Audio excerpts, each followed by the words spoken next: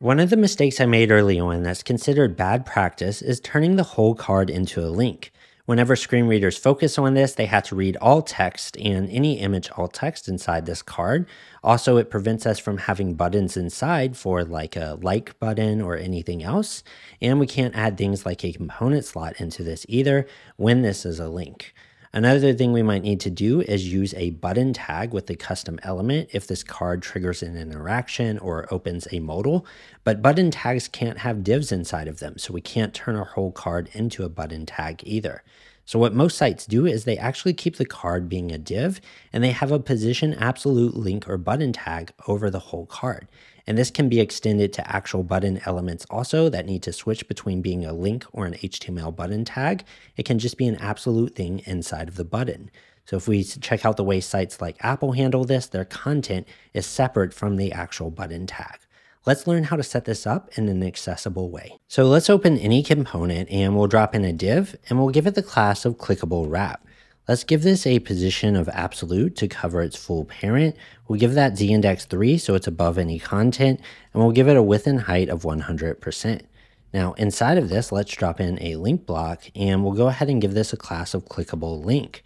And we want this to be position absolute to cover the full parent. We want it to have 100% width and height as well. Now inside of the wrap, let's also drop in a custom element. And we'll give this the class of clickable button we want that to be position absolute, just like the link, to cover a full parent, 100% within height. And let's also, under settings, give this element a tag of button. And what we'll notice is button elements have some default padding, and they also have a default background color. So let's clear all that out and make the background transparent. Now, if we were to tab onto this button or link, we'll notice the uh, focus outline doesn't match the border radius of the element. Now, to fix that, we can select the clickable wrap and under custom properties, we can add a border radius and we'll set a value of inherit so it receives from its parent.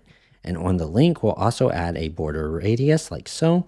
And we'll go ahead and give this um, a value of inherit so that it receives from its parent, which is receiving from the entire element. And on the button tag, let's add that same border radius and give it the value inherit. So now what we should notice is if we tab onto the button or link, its focus outline matches the border radius of the parent.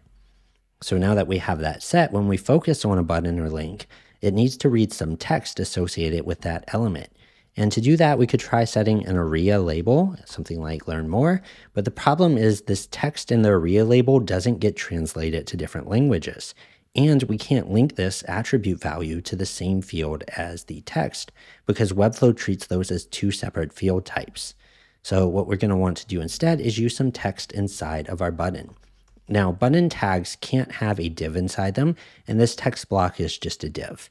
So what we'll do instead is use a custom element, and we'll give this a tag of span, and then we can put any text we want in there. Now notice how the text is actually showing up here. And if we set its opacity to zero, screen readers wouldn't be able to read it. So instead, we're going to add an SR screen reader only class. This means negative one pixel margin on all sides, zero pixel padding, one pixel width and height overflow hidden, position absolute, it gives a border width of zero, and a clip path. So this basically hides the text from us while still allowing screen readers to read it. And the good thing about this is we can link this text to a field like any other text element. So let's select the whole clickable wrap and let's turn this into a component called clickable. And now that we have that set, we can go ahead and select the span in here and link that to a field we'll call text. Let's copy that same text element and put it inside the link. So no matter if we're using a button tag or link tag, we'll still have text that's readable inside it.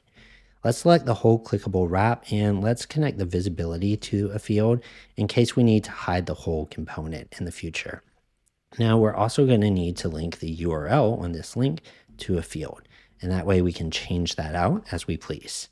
Now, if the URL to this is empty, that means it just has this hashtag. Um, we'll just uh, want to use a button tag instead because it's going to trigger like a modal or an interaction. But if the URL is filled, meaning it's going to a page or a phone number, email, a section, or anything else, then we'll want to hide the button tag and show the link tag instead. So what we can do is set the link tag to display block by default. And we'll set the button tag to display none so it's hidden. So by default, we're using a link. And then let's copy the class on this whole parent and we'll go ahead and head over to our embed. So we can target that class and then we can find the A tag, the links inside of this clickable wrap and we'll find only the, the link that has an href with a value of pound. So just an empty link.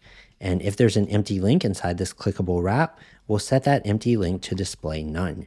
When it's set to display none, screen readers can't focus on it or read it, so that's perfectly fine. Let's copy this whole thing, and then we'll want to set the button to display block. So inside our clickable wrap, we found the empty link, and we're going to target the sibling button that comes after that link, and we'll set that button to display block. And so now that we have that set, if our um, if our link is empty, we'll be having the button tag, but if our link is filled, we'll be having the link tag. And that way that's dynamically set for us. Now we can go ahead and link this instance of the component text to the same field as our button text so that if we change out the text on this button, it'll change the text here and also inside the screen reader only elements. And we don't want when a screen reader focuses on this wrap that it reads the same text twice. So to prevent that, we'll select this button text and under attributes, we'll add an aria hidden and a value of true. So that'll make screen readers ignore the text that we're seeing and they'll just read the text that's inside of the link or button tag. Now that we have that set, let's link this URL to a field on the whole button component. And that way this button component can be pointed to go anywhere. And now that we have that, we can grab this card here. Let's go ahead and set that to a position of relative. And we'll go ahead and drop this clickable element inside. And that will make the whole card clickable. So it's just covering the whole card. And if we were to give that card um, a link here, if we point it somewhere, then it's a link tag. If not, it's a button tag and it can open a modal or trigger an interaction.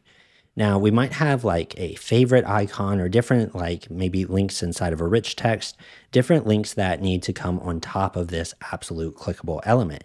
Well, to do that, we can just select the div that holds maybe this button or any element and give it a z-index 4. So it's just above the absolute clickable element. And that way we can have multiple clickable things inside one child if needed. And now that we have that set, we can also connect this text on this absolute card to the same text as the card title. So it matches the word branding here. Or we could connect it to a different field on the card and do something more custom for each card, like learn more about our branding services or something more specific. And we can fill that in with whatever we want. So one other thing we might want to do is it could get a little uh, frustrating whenever we click into a component, not being able to click on the text underneath this absolute thing. And that can be hard whenever we're styling elements and stuff like that. So to fix it, let's just copy the class of this clickable wrap and we'll head over to our embed and we'll target the uh, WF uh, design mode class, which is a class Webflow adds to the entire HTML element whenever we're in design mode. And we're going to find the clickable wrap inside of that design mode. And we can either set it to pointer events none, or we can put it on a lower Z index. Um, anything we want to do there to make sure that it's out of the way when we're in design mode, we can easily click directly on the text and content we want to edit. We can still edit the actual URL of that link as soon as we point it uh, let's connect this uh, clickable element URL to a field called card link. That way on each card, we can still edit its URL like so, but we can easily just access this content. We can click on this. And as soon as we exit preview, now we can no longer click on the text and the absolute element takes the full forefront. So that's how to set up an accessible sort of clickable element that can be turned on or off. It can be a button or a link and how to use that in Webflow. There's tons of components like this that really focus on accessibility in Lumos. So if you haven't checked out the Lumos framework yet, I highly encourage you to do that because I'm constantly adding uh, things like this that focus on accessibility and making our lives easier.